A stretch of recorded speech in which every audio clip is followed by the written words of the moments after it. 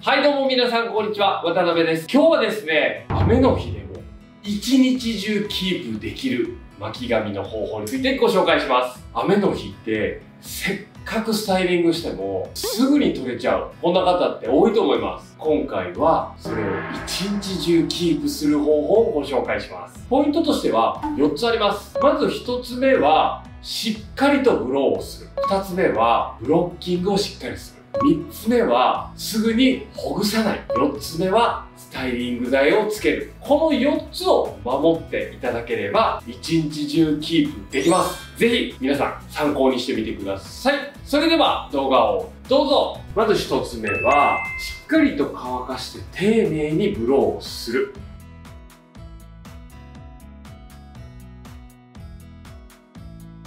生乾きだとダメージも出たりとかカールがつきづらい可能性があるのでしっかりと丁寧にブローをする。それによってね結構ツヤ感も出てカールも綺麗に見えます。2つ目はブロッキングをして細かく巻いていく。この巻き髪を作る時に結構ブロッキングしないでそのままザクッと取って巻いちゃう時ってあると思うんですけどそうしてしまうと熱が均等に行き渡らない可能性があり、カールが長持ちしない状態になります。なので、まずブロッキングをやっていくんですけど、まあこのロングの場合だったら、もう縦に取っていただいて、大体2センチ幅ぐらい。まあ紙質とかにもよるんですけど、もう本当にこのぐらいの薄さで取ってあげて、だいたい耳から前で、まあ、3ブロックぐらい。で、耳から後ろまでで、まあ、4ブロックぐらいで巻いてあげると、均等にカールがつけれるかなと思います。で、実際に巻くときに少し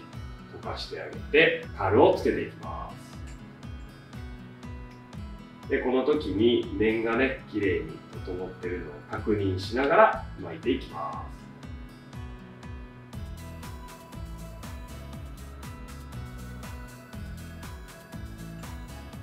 3つ目のポイントは巻いた後にすぐにほぐさない。基本的に髪の毛は熱が冷めると形がキープされます。なので巻いた状態この状態で冷ますことによって形がこれで決まります。そうすることによってほぐした後でも長続きします。4つ目はスタイリング剤をつける。特にねカールが取れやすい方に関してはハードスプレーで固定していきます。で、その時に崩しながら、指を通しながらスプレーをつけてあげる。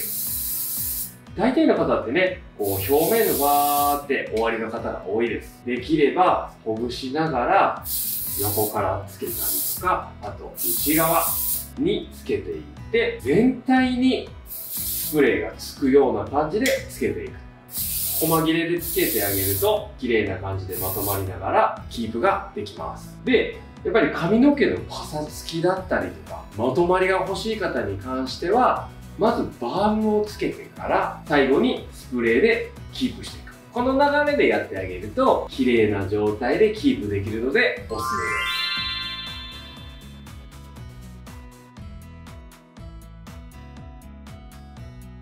す。はい、ということでこんな感じでご紹介させていただきました。これからね、梅雨の時期でどうしても巻きたいっていうそんな方は、ぜひこの方法で試してみてください。いつもよりも長くキープできると思いますよ。今日も最後までご視聴いただいてありがとうございました。今後も皆さんが綺麗で可愛くなれるような動画を作っていきますので、今後ともよろしくお願いします。この動画が良かったら、グッドボタンとチャンネル登録とコメントもよろしくお願いします。それではまた次回の動画でお会いしましょう。さよなら。